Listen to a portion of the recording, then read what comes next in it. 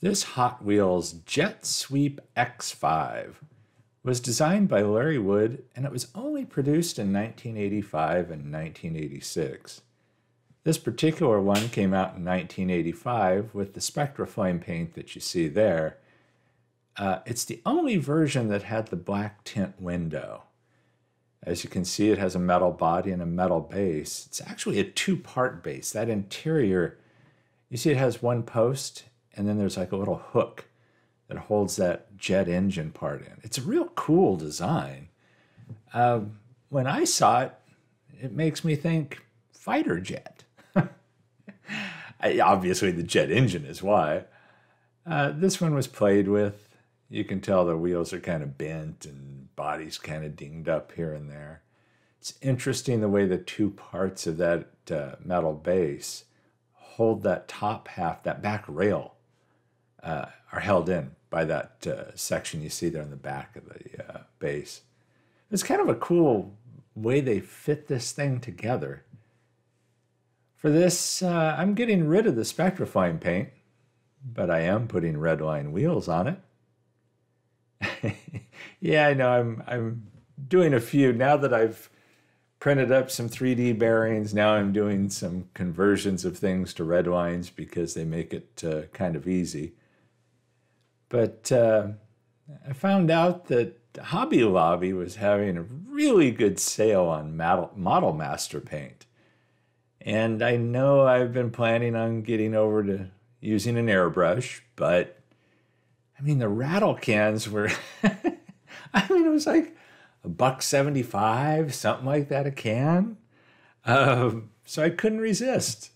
I got a bunch of different colors. I one of the colors I got was a light sea gray, which is perfect for you know making this military aircraft. So that was the direction I went. I I, I couldn't resist. um, there's the decals. I had this old set of decals. This is after I cut out the ones I used. Um, but yeah, from an F 105. So I thought, well, that'll work. I mean, they're old decals, which I have enough problems with, with fresh new decals as it is. But, uh, you know, I've got these old decals, I want to use them.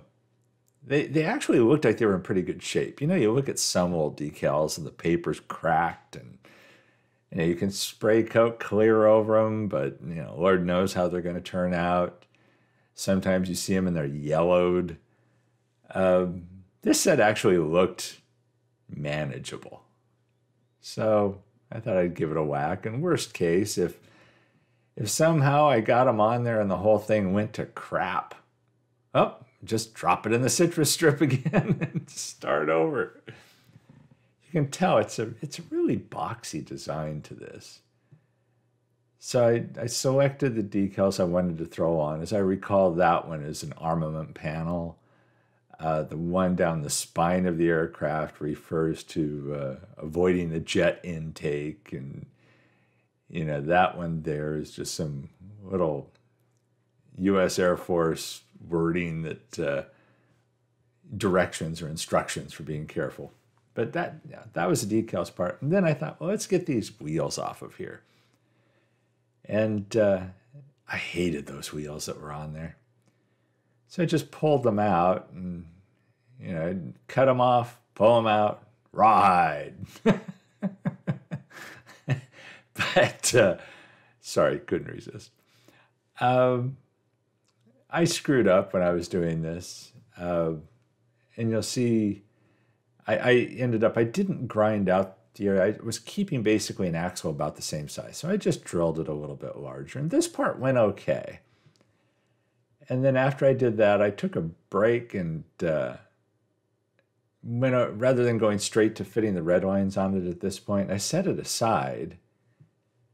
And I'll explain what happened next with those. But, uh, you know, got out the Flitz, polished up. It's that weird soft plastic stuff again. You know, I I wish that interior glass was a little bit better, but it is what it is. I polished it up as best as I could. And again, it was play worn, but it not not terribly so. But I knew that uh, there was something that could save this. That's right, gauzy. gauzy, gauzy, gauzy. Get that glass and uh, just dip it in the gauzy. It's going to put that uh, thick, hard gloss shell onto that.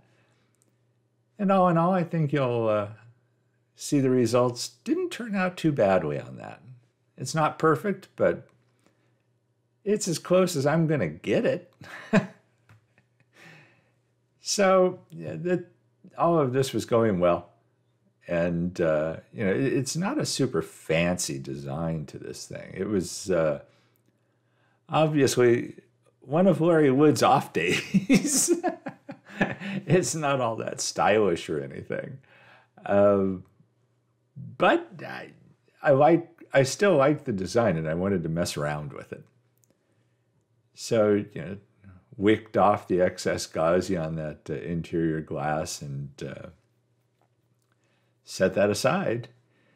And then the part that got kind of ugly was when I was doing the red lines, inevitably I you notice the band-aid on my finger. yeah, I shoved one of the axles straight into my finger. So that's the reason for the band-aid. Yeah, I was pushing on it too hard, and those axles are small. And if you think they look like needles, well, there's a reason why they look like needles because they also act like needles at times. And man, that thing went straight into the tip of my finger. And so uh, that's why I do voiceovers. So you don't hear all the uh, nasty things I was screaming when that happened. And man, that thing kept bleeding. so that's the reason for the band aid. But uh, hey, you know, five minutes later, you forget about it. No big deal. And, hey, that tetanus shot I got probably 40 years ago is hopefully still good. so there you see the red lines. And, you know, I, I really like the looks of red lines on a lot of castings. Now, this, this part here was the, the real fun of the build for me was that interior jet engine portion because it was exceptionally well detailed for something that they hide. And sure, it's a hinged body. So you lift it and you can see the engine, but they didn't even put a support in there for the top of the body. And, and as you'll see in some later shots that I did, I uh, used a toothpick to support that center section or the top section so you could see in it naturally I wanted some kind of like afterburner going on the engine, so used Ryza Rust for that, and then I uh, I don't show the bottle, but just to get some red in there, I had uh, uh, Citadel in addition to this Ryza Rust. I had Citadel Blood of the Blood Gods for a little red, a dark red to mix into that. And then it was the Citadel Nuln Oil to really, you can see all the detail on the engine. You, you can see that it's cast into it, but it doesn't appear all that well, just visually, until you start doing stuff like this. When you hit it with the Nuln Oil, it really brings out that detail. And as you can kind of see, I'm really putting the Nuln Oil on heavy and letting it fill see how it's running in and filling those sections. Once that was done, I got out all the paint pins and like, here's the Sharpie gold paint pin. And so I went over a lot of the detail that's there, the tubing, that kind of thing. With the gold, I go from the gold pin to a black paint pin. That's a Gundam, it's a fat tip Gundam paint marker and there's these straps that are apparently on the fuel tank. That that's because the casting does say JP fuel on it, and uh, then got out the red paint marker and just picked out a few things here and there. And again, what I really enjoy is picking out little details using different colors to just catch your eye. And I really like how it turned out. I did need to use the vise to hold this because it's just a fiddly little thing to try and hold. There's a Sharpie bronze pin. this is the perfect thing for the paint pins. And again, it's not like you're really laying down thick paint as much as, for lack of a better term, just accenting it with some color, if that makes any sense. But here you see, uh, see the J2 fuel, excuse me, is what's cast into that base. So while it's not like it's a perfect paint job, it wouldn't be. And so you're just trying to kind of accent that detail. So there's what that bottom half just looks like when you're finished with it. I'd like to take a moment to thank my Patreon supporters. They're the ones who help uh, cover the cost of those paint pens. and uh, I really do appreciate their support. And now it's time to throw it all back together. That rear fin and uh, glass slid in through that back opening. You see that back rail on the casting, the hinge, for lack of a better way of putting it, that drops in between the, the bottom and top halves of that bottom section. I'll try and show that here. You see how you hook this in. And now it's on the top half of that rail under the fin. And now this goes on the bottom half. There's a hook there right on the front that, oddly enough, that's a odd little thing to hook on that. But you get it on there and then you can just, uh, again, it has the one post, so now the screw just holds that all together after I hit that with the light sea gray um, enamel paint, I did uh, go over this with a clear satin Minwax polyurethane. And again, this is all rattle can paints that I'm using. And uh, rolls like it's jet propelled. so there's where we started a little play worn, didn't quite sit right. The engine, you can see the bend in the axles is holding the front part up a little bit. But uh, I, I'm happy with taking this the uh, jet fighter kind of look.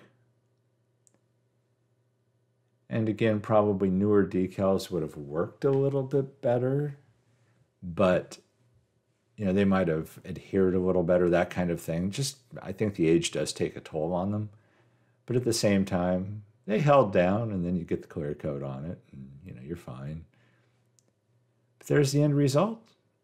I hope you like this build. Look at the afterburners kicked in. I hope you enjoy this build. You know, I, I my builds go all kinds of directions, and uh, this is just a, Another one of those odd directions. There's the toothpick holding it up. Thanks for watching these videos. Thanks for putting up with uh, the bizarre builds. You know, uh, not everything I build is Mustang. and it won't be. I, I, if there's one thing that will be consistent with me, is my inconsistency. I hope you all are having a wonderful weekend and uh, everybody stay safe and healthy out there. Thank you for watching these videos and all of your support. Catch you in the next one.